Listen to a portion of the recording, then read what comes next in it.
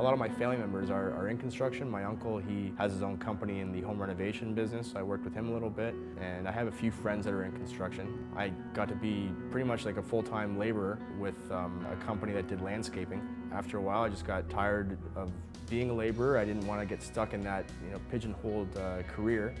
Um, I wanted more, so I decided to just start looking around and broaden my horizons.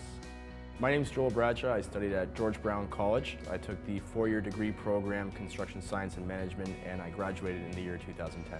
George Brown caught me because of basically what the guys in the trades had told me about it. A lot of guys I'd worked with in plumbing, carpentry, uh, ran into a few electricians, and they all had said they went to George Brown. And they raved about it. So when I saw they had the four-year degree program, I uh, did my research. It seemed to be backed by the industry school really opened the doors. The, the construction science and management is, I guess, the science behind those materials and the management is how to get everybody to work cohesively together. All the maths that I learned, all the science that I learned behind it, because I'd seen it before, I'd actually seen it built, and it was like a light bulb went off, like, oh, so that's why it works, or you know, that's why that goes together, or that's why you have the insulation where you have it. You understand why things are done the way they are.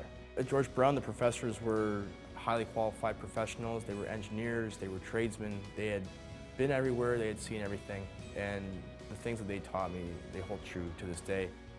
The co-op program at George Brown is good. They have an extensive uh, connection with the industry. I ended up getting a field placement in my, my first summer, and I got that to the career fair. The day after I left my co-op with PCL, I got a phone call from Bird, and then I pretty much walked into an interview and walked into a job within the next week after that, and I've been with them ever since. In 2010, when I graduated from George Brown, I officially started my full-time contract with Bird. I wanted this. I, I wanted this job, and uh, I couldn't be happier. I couldn't be more thrilled.